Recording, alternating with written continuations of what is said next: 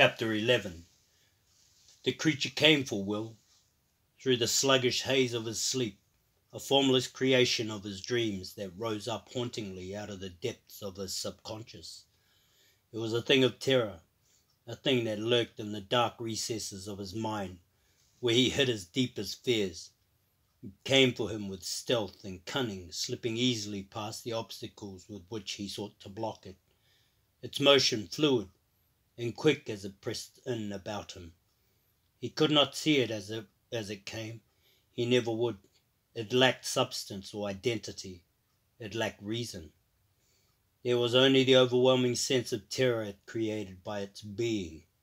He ran from it, of course, ran swiftly through the landscapes of his imagination, ran and ran until it seemed he must surely have left it behind. But he had not.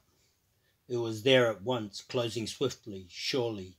He lunged from it in desperation, screaming soundlessly for help, anyone's help, but there was no one. He was alone with this thing, and he could not escape it. Yet he must, for if it were to reach him, if it were to touch him, he knew with certainty that he would die. So he ran in fear, blindly feeling the breath of the thing hot upon his neck. He came awake with a start, lurching upward from beneath the blankets in a sitting position. The night air was cold on his face and body. Sweat ran from beneath his arms, and from within his head he could hear the sound of his heart pounding wildly. Allanon's dark form crouched next to him, strong hands holding fast to Will's shoulders. The druid's voice was a harsh whisper. Quick, Valeman! They have found us! Will Ohmsford did not need to ask who it was that had found them. It was his dream become reality. He came to his feet with a bound grabbing up his blanket and hurrying after the druid, who was already moving toward the little cottage. As if by intuition, the Amberle appeared at the edge of the porch, white night dress blowing airily about her shoulder, slender form giving her a ghostly appearance. Allanon went to her at once. I told you to dress, he whispered angrily. She looked unconvinced. You would not seek to trick me, Druid. This would not be the same game you are playing to help me make up my mind to come back with you to Arborlon. Allanon's face went black. Another few minutes of standing around and you will have your answer. Now dress. She stood her ground. Very well, but I cannot leave the children. They must be taken to a place of safety. There is no time enough for that. The druid urged. Besides, they will be safer here than stumbling about in the dark. They will not understand being left like this. Remain and they will share your fate. Allanon's patience was gone. Wake the elders, tell them that you must go away for a time, that you have no choice. Tell them that when it is light out, to take the others to a neighbor's home. Now do as I say. Hurry. This time she did not argue, but turned and disappeared back inside the cottage. Will straightened his clothing and rolled his blanket tight. Together Druid and Valeman saddled the horses and brought them around to the front of the darkened home to wait for the elven girl. She was with them almost immediately, dressed in boots, slacks, belted tunic, and a long blue riding cloak. Allanon brought the girl with the Valeman close before Artaq, whispering softly to the animal, stroking the satin neck. Then he handed the reins to Will. Get on. Will did as he was told, scrambling aboard the big black. Artaq shook his head and whisked wicked. Allanon continued to whisper gently, then took Amberle by the waist and swung her up behind the Valeman, as if she were no more than a feather's weight. Then he muttered, then he mounted Spitter. Quiet now, he cautioned. Not a word. They turned onto the roadway that ran in front of the little cottage and followed it eastward through the sleeping village. Only the sound of their horses' hoofs, thudding softly on the earthen trail, broke the deep stillness. In minutes, the buildings of the village were behind them, and they were at the forest's edge. Before them stretched the, the tilled fields, the waters of the irrigation ditches sparkling with moonlight as they crisscrossed through neatly planted rows of grain and corn, already grown and ripening. In the distance, on either side, the wooded slopes of the valley fell away into the grassland. Allanon dismounted wordlessly. He stood motionless for a time, listening to the silence of the night, his dark face anxious. Finally he slept close. He stepped close to Artaq, motioning for Will and Amberle to bend close. They are all around us, he breathed the words. Will went cold. The druid looked at him as if to measure his worth. Have you ridden and hunt before? Will nodded. Good. You and Amberle will stay with Artaq. If you are pressed, give him his head. He will see you safely through this. We will ride north along the edge of the village to where the valley drops into the grasslands. Once there, we will break through their circle. Do not stop for anything. Do you understand? If we become separated, do not turn back. Ride north until you reach the Silver River. If I do not come at once, cross and ride to west and ride west to Arborlon. What will you? Will ask hurriedly. Do not concern yourself with what I might be doing. The druid cut him short. Just do as you are told. Will nodded reluctantly. He did not like the sound of this at all. When Allanon turned away, he glanced back at Amberle. Hold tight, he whispered and tried a quick and tried a quick smile. She did not smile back. There was undisguised fear in her eyes. Allanon remained remounted. Slowly, cautiously they made their way along the forest's edge, skirting the western borders of the village of Havenstead. Silence hung deep and penetrating across the whole of the valley. Like shadows, they slipped through the darkness of the trees, their eyes searching the night for movement. Ahead of them, the north slope of the valley began to loom up darkly through breaks in the forest. Then Allanon reined in sharply, motioning for them to be still. He pointed wordlessly toward the fields on their left. Will and Amberle followed the line of his arm. At first there was nothing to be seen, only row upon row of stalks, shaded dark grey in the moonlight but a moment later the eyes picked out the quick movement of something vaguely like an animal as it crept from one of the irrigation ditches and disappeared into the stalks of the field. They waited for a time, frozen against the trees, then started forward once more. They had only gone a short distance when from out of the woodlands behind them a deep, soughing howl rose. Amberle tightened her grip, grip about Will's waist and put her head against his back. Demon wolves. Allanon spoke the name quietly. They've found our trail. He kicked Spitter's flanks firmly and urged the horse on to a slow trot. Artaq snorted anxiously and followed. The howls picked up by others, and there was a sudden sound of bodies plunging through the trees. Ride, Allanon shouted. The horses lunged forward, veering sharply left from the cover of the woodlands. At a gallop, they raced along the edge of the fields, following the line of the irrigation ditch toward the break that led to the grassland. The howling rose all about them, fierce and hungry. Huge leaping shadows sprung above the stalks of grain and, and corn in the darkness on their left, crashing wildly toward them. Will bent low over Artaq's neck and urged the big horse on. Before them, the pass leading from the valley came into view. Half a dozen bristling dark forms broke from the woods ahead of them, things that were wolf-like but much larger, and with their faces that appeared grotesquely human as they lifted in the moonlight. Long teeth snapping, Allanon turned Spitter directly toward them, blue fire sparkling on the fingers of one of his hands as it raised menacingly. An instant later the fire lanced out, burning into the pack, scattering it wildly. Spitter surged through the mist, his call shrill with terror. Artaq was already past both druid and demon wolf, his sleek body levelled out as he raced for the open plains. Several dark bodies lunged from out of the field before them. Jaws snapping at the horse's leg, Artaq did not slow. He caught one beast with his shoulder and knocked him spinning. The others were quickly left behind. Will bent lower, pulling Amberle down with him against Artaq's back loosening slightly his grip on the reins. To their right, more demon wolves bolted from the trees, their howls filling the night air. Streaks of blue fire cut through them, and the howls turned to shrieks of pain. Artaq ran on. Then a single huge demon wolf appeared at the forest's edge, ahead of them, running parallel to the woodland stream that fed the irrigation ditches. It lunged forward to intercept them, moving with astonishing speed, bounding through the long grass, its movements fluid and soundless. Will felt something cold and hard tighten in his chest.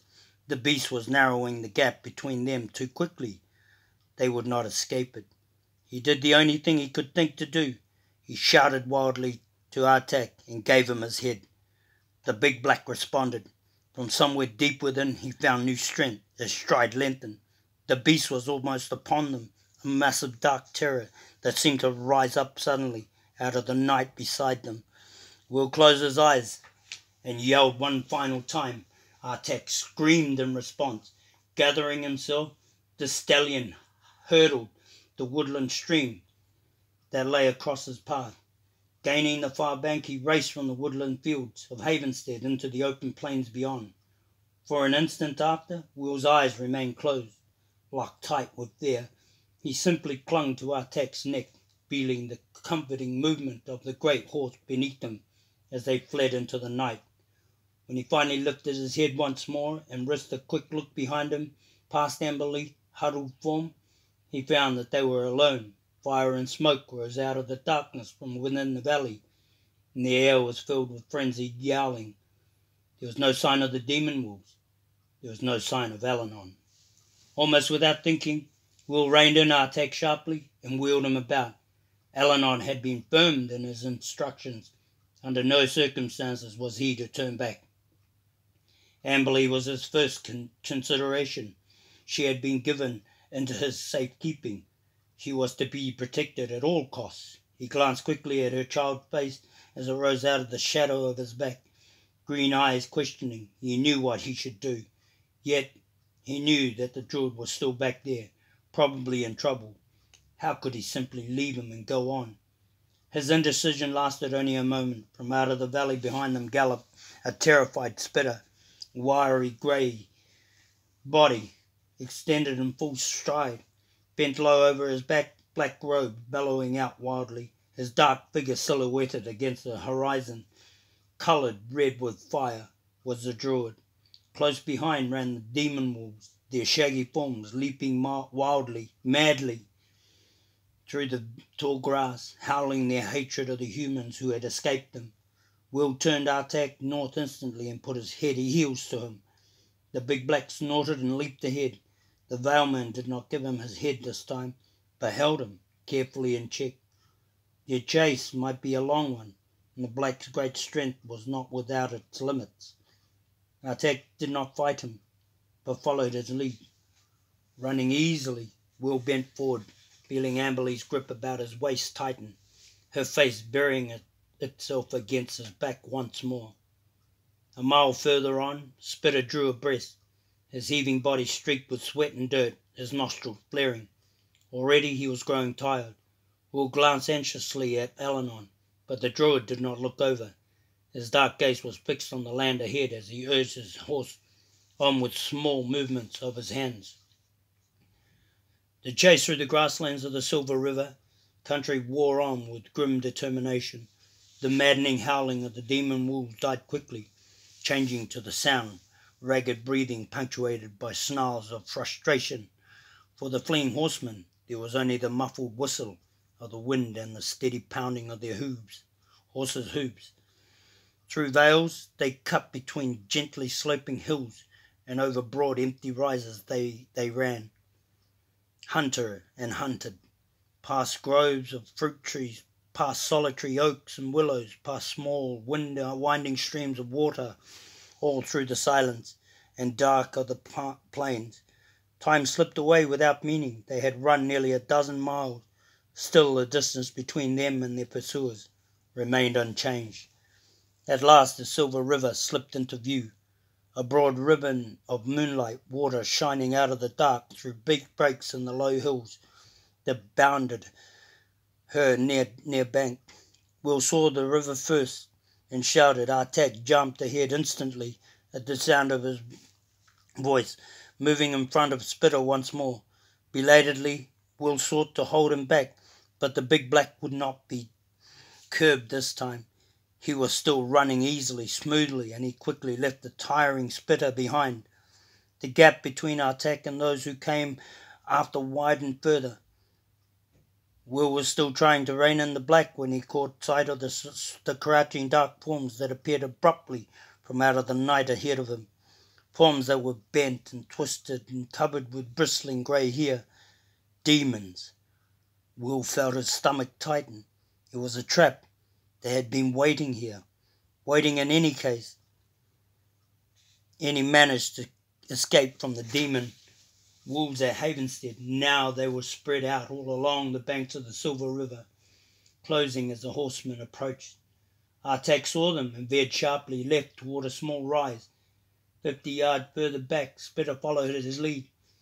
Further back still, but closing now on the tiring animal, ran the demon wolves, howling once more. Artaq gained the summit of the rise at full gallop and broke downward for the Silver River. The demons in front of him moved quickly to bar his passage. Will could see them clearly now, cat-like beasts with faces of women twisted and grotesque. They bounded toward the big black, mewling hideously, muzzles lifting to reveal their long, their long, sharp teeth. At the last second, Artaq wheeled sharply and circled back toward the rise, leaving the cat thing screeching with frustration. In that moment, Spitter topped the rise, stumbled wearily and went down. Allanon tumbled to the ground in a tangle of robes, rolled over several times and sprang back to his feet. Demon wolves came at him from all sides, but the blue fire spread from his fingers in a broad cutting sweep that scattered them like leaves in a strong wind. Artaq wheeled left again, Will and Amberle clinging desperately to his back to keep from being thrown, screaming his hatred of the cat things that sought to trap him. He ran at them once more, parallel now to the river bank, moving to so swiftly that he was on his top of them before they had time to realize what he was about. Several of the beasts reached for him, clawed limbs ripping, but he was past them almost at once, clearing their grasping talons with a mighty leap and racing away into the night. Behind him, an arc of blue fire lanced into the nearest pursuers, burning them to ash.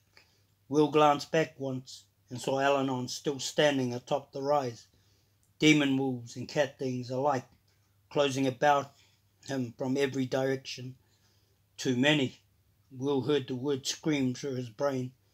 Fire sprang from the druid's hand, and he disappeared in a haze of smoke and dark leaping forms. Then some sixth sense triggered within the Valeman, warning of new danger. His gaze shifted hurriedly from the battle atop of the rise from out of nowhere appeared half, half a dozen more of the demon wolves, racing toward Artaq in great silent bounds. Will felt a quick movement, quick moment of panic. He and Amberle were trapped between the beasts and the river. Ahead of them, a dense stretch of wood blocked their passage. Behind them were the demons. They had just fled. There was nowhere for them to go. Artaq did not hesitate. He veered toward the river, the wolves came after, soundless, fluid, black terror. Will was sure that this time they would not escape. Allanon was no longer there to help them. They were all alone. The Silver River drew closer. There were no shallows in view, only an open expanse of water too broad, too deep, and too swift for them to cross. If they were to try, Will realized, they would most certainly be swept away. Yet Artaq did not slow. Whatever the danger might be to them, the big black made his choice. He was going into the river. The demon wolves sensed it as well. Less than a dozen yards back, they threw themselves forward in a determined effort to catch Will and the elven girl. Amberle screamed in warning,